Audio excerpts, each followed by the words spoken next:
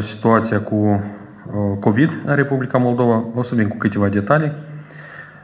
În primul rând, în ceea ce ține de situația în țară, împreună cu domnul prim-ministru și cu doamna președinte a Parlamentului, am făcut un schimb de opinii referitor la asigurarea stabilității bugetare, cât și uh, situația din agricultură. Domnul prim-ministru ne-a informat că la această etapă veniturile la bugetul de stat, încasările la bugetul de stat ne permit să asigurăm achitarea plăților sociale. În afară de aceasta, uh, vreau să vă informez, stimați concetățeni, că programul uh, național de drumuri bune pentru toți, practic în aceste zile, săptămâna aceasta, săptămâna viitoare, se finalizează uh, concursurile anunțate și la sfârșitul lunii iunie, începutul lunii iulie, în fiecare localitate din Republica Moldova va începe reparația drumurilor. Programul pe care eu l-am anunțat la sfârșitul anului trecut, începutul anului curent, în decembrie 2019, ianuarie 2020. Astfel, toate angajamentele statului se onorează.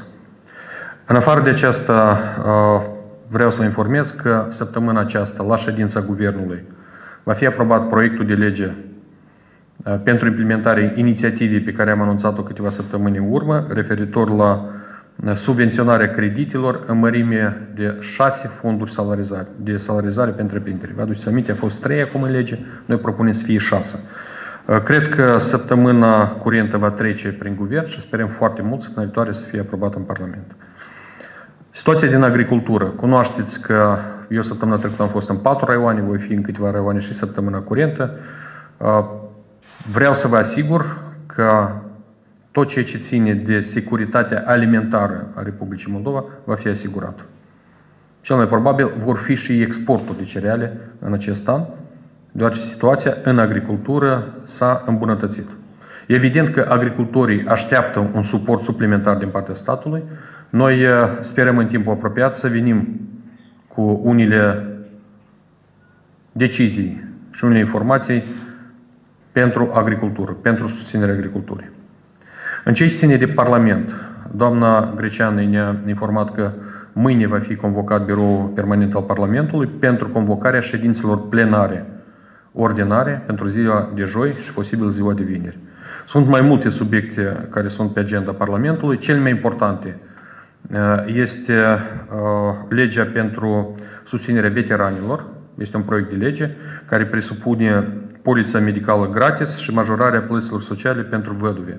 Aceasta a fost o decizie luată în comun de către guvern cu uh, veteranii care au venit cu aceste doleanțe. Sperăm foarte mult că acest proiect de lege să fie votat, poate și unanim săptămâna aceasta în plenul Parlamentului.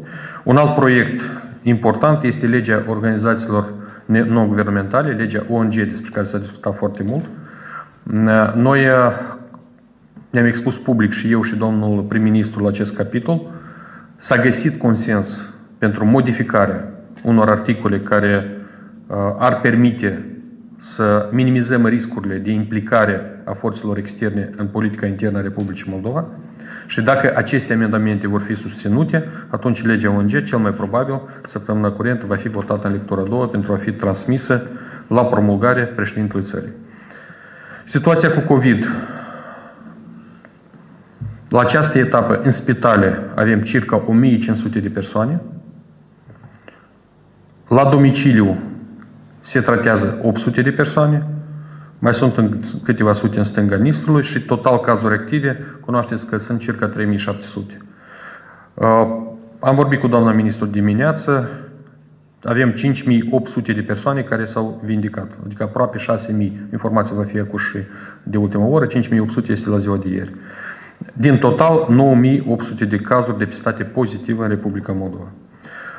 Se discută mult în comparație, vreau să dau doar câteva cifre, din 48 de țări europene, Moldova ocupă locul 22 la infectați la 1 milion, locul 19 decese la 1 milion și avem rata deceselor 3,5% din total infectați. Marea majoritate a cazurilor care în ultimul timp sunt uh, depistate, am văzut critici că se depistează uh, un număr uh, mare, sunt cazuri asimptomatice. Ce înseamnă lucrul ăsta? Adică oamenii nu simt nimic, se duc să dea testul să vadă dacă au anticorpi și acolo îl depistează că este cu COVID. Aceasta e ceea ce am vrut să vă informez. Vă mulțumesc. O săptămână ușoară și o zi bună. Sănătate!